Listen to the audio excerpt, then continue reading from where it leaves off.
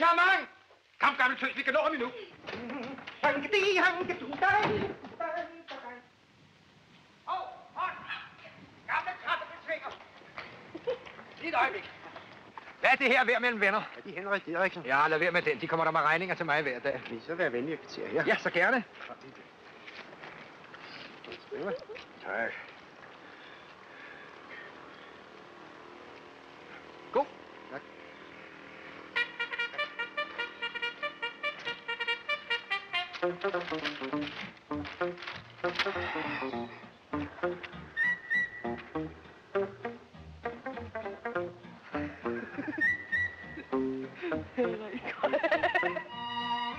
Far.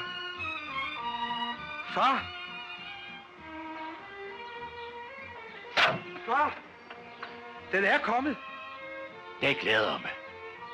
Det bliver en god tid, Ja, far. selvom det bliver hårdt. Ja, far.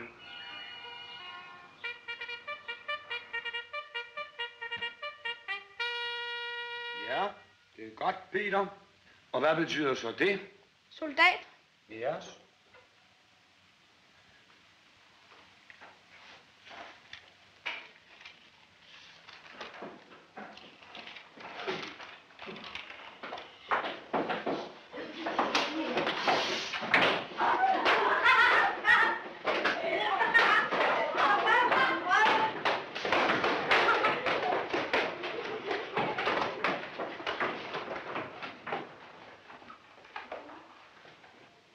Må jeg lige tale med dem et øjeblik?